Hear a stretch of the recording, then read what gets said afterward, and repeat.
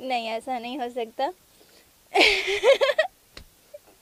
नहीं ऐसा नहीं uh, मैं विलन तो नहीं बन सकती बट विलन बन भी जाऊँगी तो लास्ट में प्यार तो करने ही लगूँगी। सो so, ऐसा कोई कॉन्सेप्ट नहीं आ रहा। फ़िलहाल हम लोग एक मूवी शूट करे हैं बागी जो कि बहुत अच्छी फ़िल्म बन रही है और कुछ पोर्शंस बाकी है जो हम बॉम्बे में शूट करेंगे। एंड वो भी बहुत अच्छा कॉन्सेप्ट है कुछ अलग है कुछ यूनिक है आप सबको। होली होली आ, होली मैं तो नहीं खेलती हूँ बट मेरी तरफ़ से सारे दर्शकों को मैं होली विश ज़रूर करती हूँ। और हमेशा अच्छे से होली खेलिए और हमेशा से यही कहती हूँ कि किसी को नुकसान ना पहुँचे किसी को एलर्जी हो कलर से तो उसको ज़बरदस्ती कभी रंग नहीं लगाना चाहिए इन्फेक्शन हो जाए या ऐसा कुछ नहीं करना चाहिए।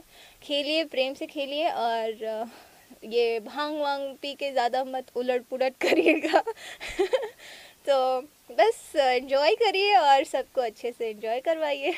नहीं एक्चुअली मैंने ज़्यादा होली नहीं खेली है और मैं एक्चुअली एनिमल लवर हूँ तो इस वजह से मेरे घर में दिवाली भी हम नहीं मनाते। दिए जलते हैं बट दिवाली, फटाके और सारी चीज़ें नहीं फूटता बिकॉज़ पेट्स बहुत डरते हैं एनिमल्स तो होली के भी कलर से जो सारे फिर भूत भूत बन के आ जाते हैं तो उसमें भी डर, डरते हैं तो हम नहीं खेलते हैं।